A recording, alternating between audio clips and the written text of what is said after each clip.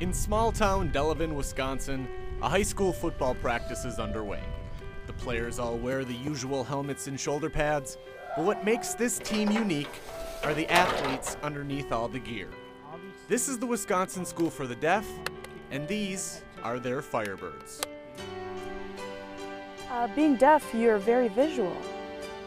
And so you'd be able to uh, join a team and do well in football because everything is visual. Well, we don't think about us having a disability. It, the only thing we can't do is hear. A lot of hearing people do think that it is a disability not to hear, but we think we're normal people. We are normal people. A graduate of the school himself, Eldred uses his position as coach to both influence and inspire. I feel that being deaf myself proves that they are able to do it. It doesn't matter whether we are playing a hearing team or a deaf team. They can play. It's the game of football. And it's the same whether you're deaf or hearing, there's no difference. On the field, you just do what you have to do. And it's the same as whether you are hearing or deaf. They just do it. They've been playing football here at the Wisconsin School for the Deaf longer than the Packers have been playing up in Green Bay. And along with a lot of the tradition that comes along with it here on the gridiron, comes a lot of recent success as well, rolling off the last three National Deaf Prep Championships in a row. We have a reputation of, of being a great team, and so everybody is looking at us to continue that tradition.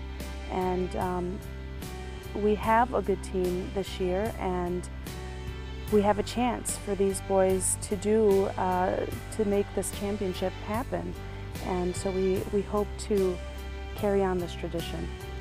For the Firebirds, actions truly do speak louder than words. Without having that winning mentality, you can't win as a team. We need to see action. We need to see proof on that field that we can do it. We need to show uh, the lower classmen that this is something that we do. And once they see uh, what we do here as a team, they'll understand it. I think we can do it.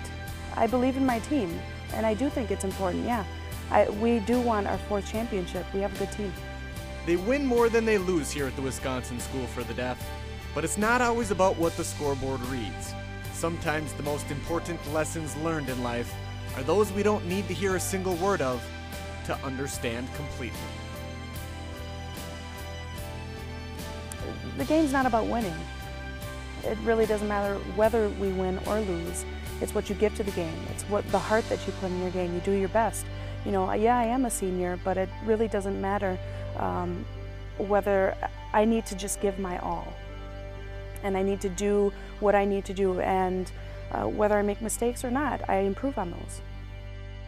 Accepting this week's Anything's Possible award on behalf of the Wisconsin School for the Deaf is senior Taylor Koss.